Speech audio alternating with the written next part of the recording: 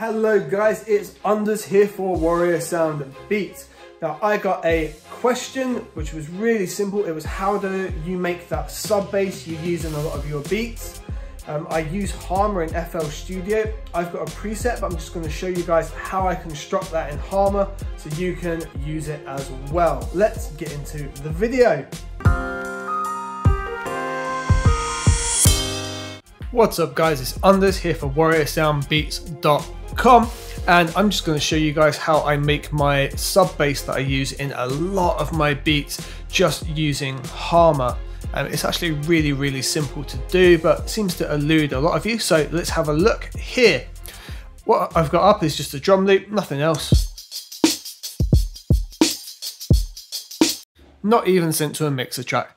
Let's get Harmor up and I'm just going to send it to one of my bass tracks here, probably 11. So we just pressed F8 to get the viewer up. We're going to grab Harmor and we're going to drop you just there, mate. Bosh. So by default, it is the wonderful default preset we all love.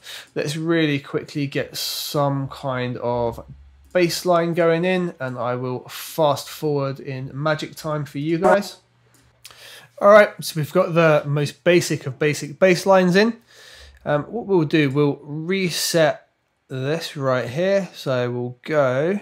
Cool. So we've defaulted it, and the default I think is just a sine, uh, saw wave, right? Oh, that's awful. Right. So first thing we need to do is make a single harmonic. Let's just bring up a little harmonic jazzy thing on the side here. So if we click on the saw wave, it gives us our little harmonic thing, and that's how we make a saw wave in Harmor. It's just basically all frequencies together. What we need to do is take this little point here and drag that right down. And then we're going to make another point over here and we're going to drag that right down. So we've just got like this tiny little triangle at the end.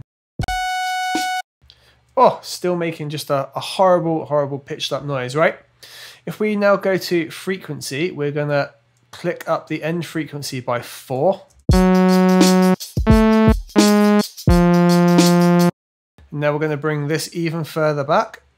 We're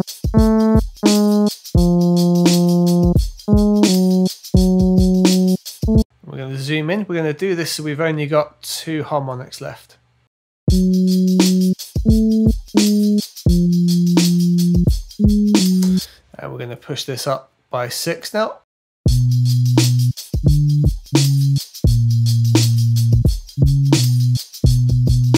Go up one more, we'll push it up by seven just to knock it into the sub octave.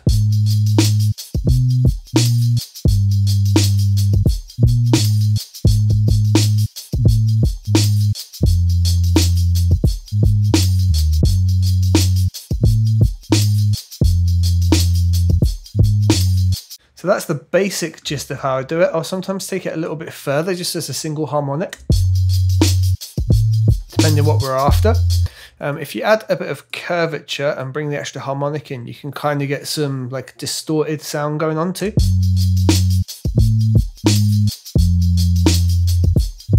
Notice depending on the curve dictates uh, how strong that harmonic is. So we can bring three in but have them really subtle or have them really harsh.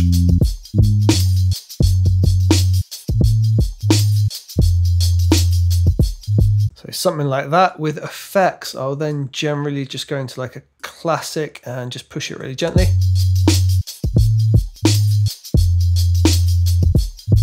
we then go back into the envelopes, we're going to get into volume. We're going to enable this envelope. Uh, we drag this back and just give it a little bit of a curve in.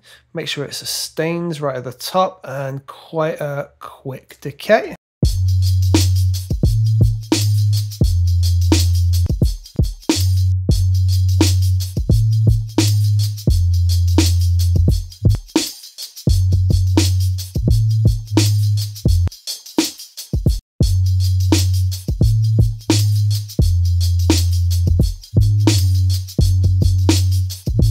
And that is it. That's how I'm creating the sub bass using Harmor. Super simple. We're bringing it almost down to being a, a single sine wave, um, just with some extra harmonics in there, just to give a little bit of top end content.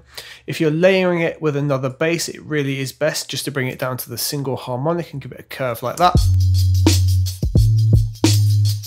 And if you're layering it with another bass as well, um, generally take distortion off so it's just the sine.